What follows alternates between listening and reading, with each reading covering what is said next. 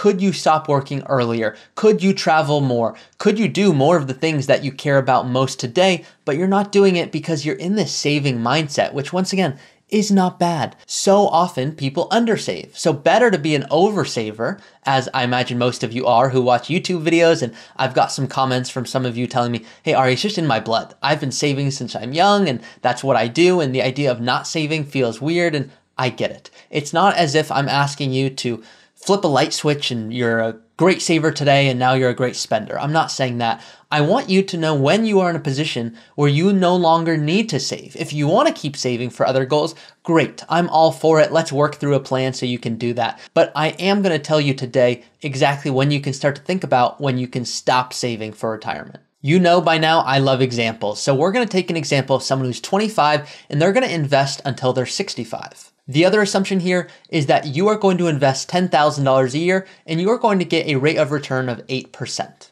So after year one, you put $10,000 in, you got 8%, you now have $10,800. What does that mean? It means 92% of the increase, well, that was from your own money. That was your personal contribution of the 10,000. The other 8%, that was growth on your money. Now, after 10 years, your account would have grown to $144,000. Why do I bring that up? The growth on your money is now exceeding the amount that you are investing on an annual basis.